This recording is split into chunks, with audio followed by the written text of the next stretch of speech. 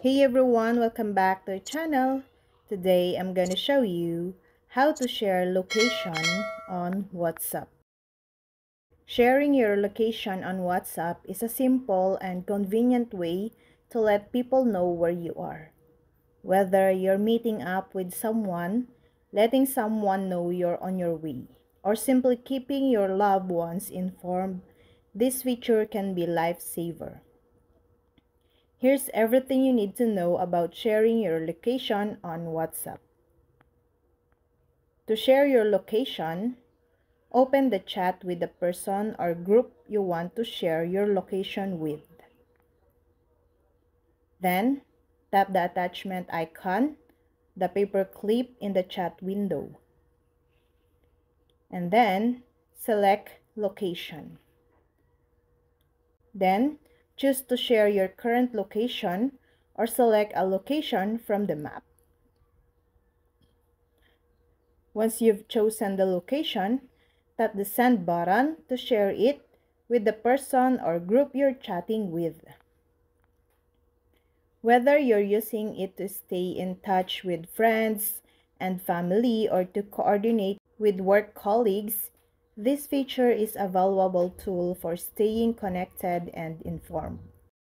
If you choose to share your current location, WhatsApp will use, use your device GPS to pinpoint your exact location. When you're in an area with weak or no GPS signal, your location may not accurately reflect on the map. In this case, waiting until you're in a better area is best before sharing location information. On the other hand, if you select a location from the map, you can use the built-in map feature to find and select the location you want to share. The person or group you're sharing will receive a map with your location marked on it. They can tap on the map to see more details, such as the address and the satellite view.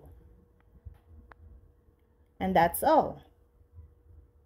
Five things to keep in mind when sharing location on WhatsApp. First, be mindful of, of privacy concerns.